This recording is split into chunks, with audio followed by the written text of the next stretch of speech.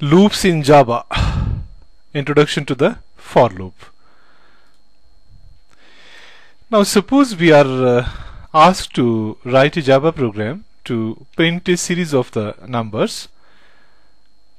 That is 1, 2, 3, 4, 5, 6 up to 20 so to generate this series of the numbers or to print this series of numbers as the numbers are numeric values so we have taken a as integer.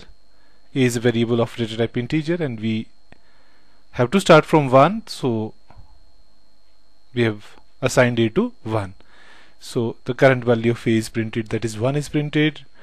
And then next number to print is 2 so we have used the a plus plus. Plus plus operator is applied on a and the value of a is modified to 2 and the current uh, modified value is printed then it is again incremented to 3 and so printed 4 printed and so on. So here what we observe is that a set of statements we have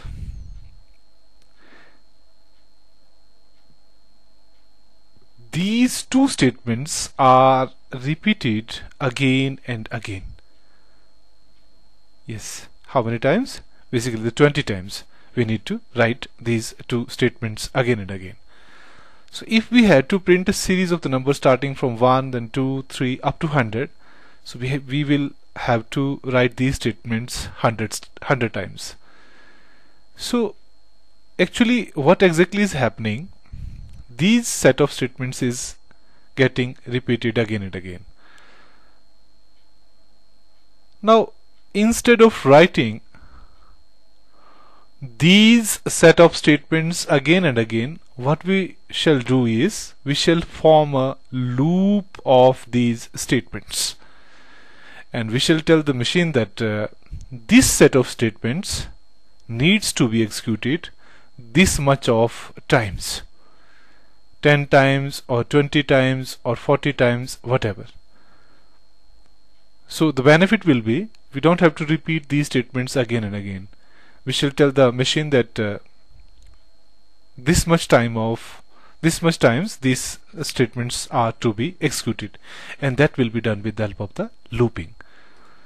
So imagine you have to write a program which performs a repetitive task such as printing 1 to 100 coding 100 lines to do this would be mundane.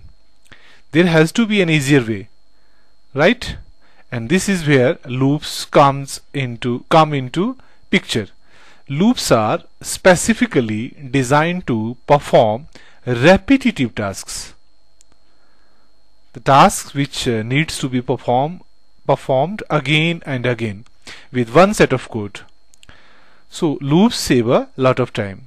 So in java programming language we have the for loop the while loop and the do while loop. So we shall start with the for loop the for loop syntax is as for then initialization.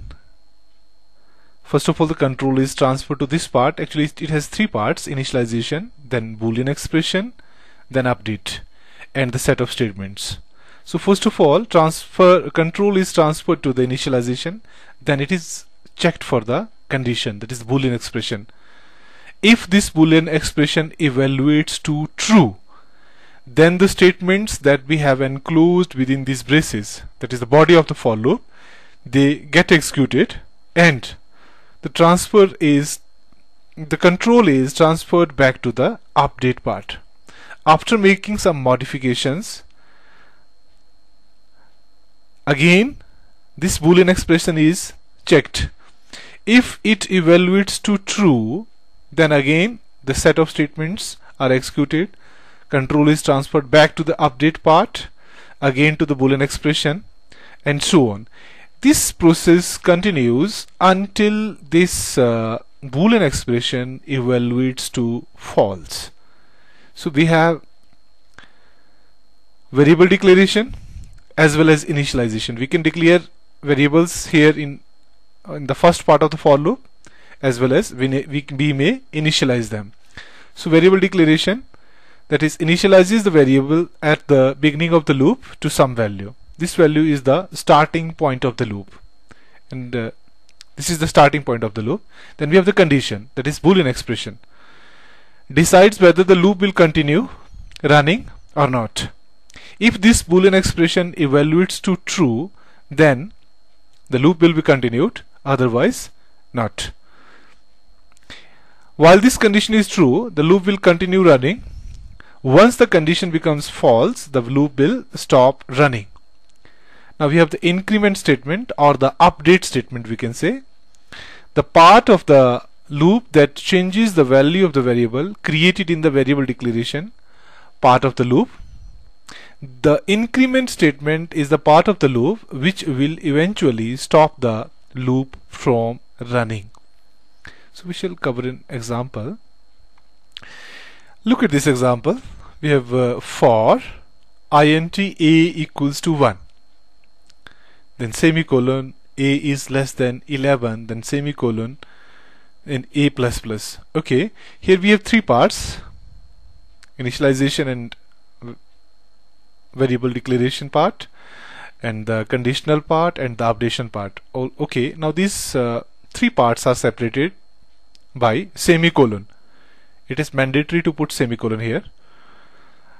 So if you run this program the output generated is 1 2 3 up to 10 okay?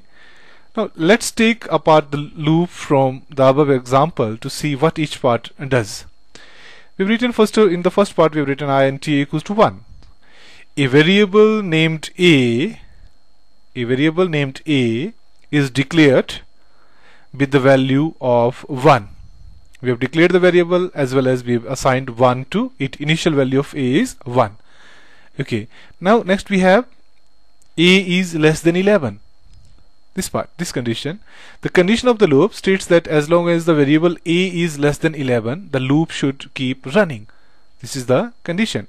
As long as the value of a is less than 11 the value of uh, the uh, statements in the for loop they they should be executed. And a plus plus here the updation part we call it.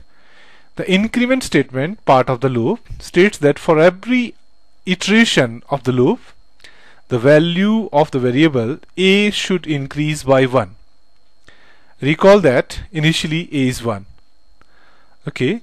And system.out.print and uh, a plus blank space print the value of a together with a single space for each time the loop runs. The above loop will execute the code between the braces 10 times because a begins at 1 and at and uh, ends at 10 this counter is what runs the loop. So first of all initialization. 1 is assigned to a then it will check for condition if this condition is true. So 1 is less than 11 it is true. So true if it is true then this statement is executed. And uh, the value of a is printed. Then after printing the value of a then it will go to the updation part. The value of a will now be 2 again this current value of a is checked. That is 2 is less than 11 it is true. Then again it is printed. Then it will go to a plus plus. It is now 3 a is 3 3 is less than 11 again true and so on. When the final value that is 11 is uh, uh, 10 is printed then the value of a will be 11 now 11 a is less than 11 11 is less than 11 it is false so this statement is not executed. Means for loop the statements under the for loop they will not be executed and uh, control is transferred to the next statement following the for loop